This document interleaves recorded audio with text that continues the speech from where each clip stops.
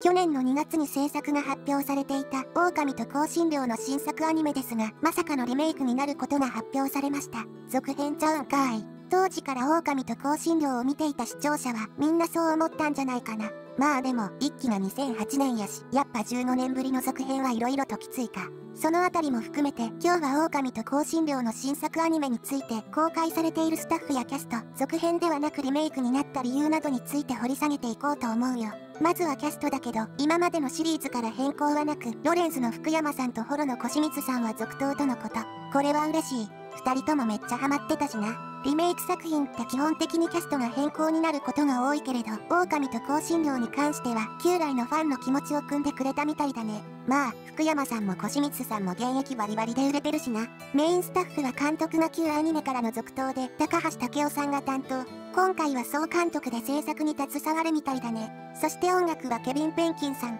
なんか聞いたことある名前やな。メイド・イン・アビスの音楽を担当している人なんだ。おお、あの独特のファンタジー音楽を作る人か。作風に合わせたノスタルジックな音楽に定評のある作曲家だから、狼と香辛料にも合いそうだよね。もう PV の時点で雰囲気出まくりや。そしてアニメ制作会社はパッショーネ。最近だと渡ゆりとか恋愛フロップスを作っていて、昔から結構エチ描写が多いアニメを得意とするスタジオだね。ハイライトが強いからいつも肌とか髪がテカってて、エロゲっぽい雰囲気もあるよな。パッショーネ自体の作画は全体的にいいし、今回の PV 見る感じだと、作風に合わせて色彩も落としてあるから、監督や声優が続投することも加味すれば、アニメのクオリティに関しては全く心配はないね。そして今回続編じゃなくリメイクになったわけなんだけど、個人的には少し残念だったかなと。やっぱり続きが見たかったし、続きを期待していたからね。ただ、15年ぶりの続編アニメになると、さすがに新規ファンを取り込むことが難しいと思うんだ。というかうちらも復習せんと内容忘れてるわ。